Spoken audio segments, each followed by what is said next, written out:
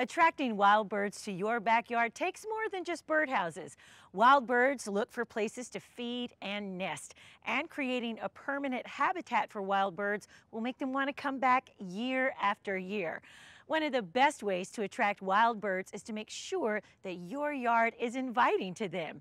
Here are a few tips on how to transform your yard to attract birds of all types. It's important to make sure you have a variety of trees, shrubs, and flowers that are attractive to wild birds.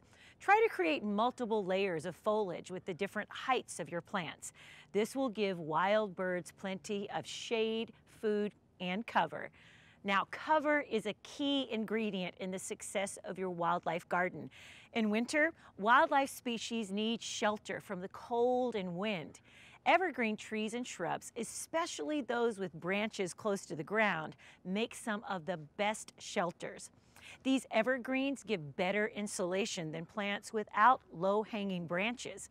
Give your yard a natural feel by planting flowers in groups of three, five, or seven. Don't be afraid to get creative in the way you plant them. Feeding wild birds using bird feeders is the best way to get them to visit your yard. It helps if you plant flowers and trees that flower or bear fruit at different times of the year. For example, blackberries and raspberries provide fruit in summer, while trees like dogwoods produce fruit in late summer and early fall.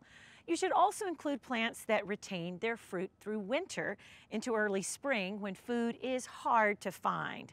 Both crabapple and holly grow well in most areas and are excellent plants for wildlife in the winter because they offer food when it's most scarce. To find out more about making your backyard an attractive place for wild birds, visit the Know How section of TractorSupply.com or your local Tractor Supply store.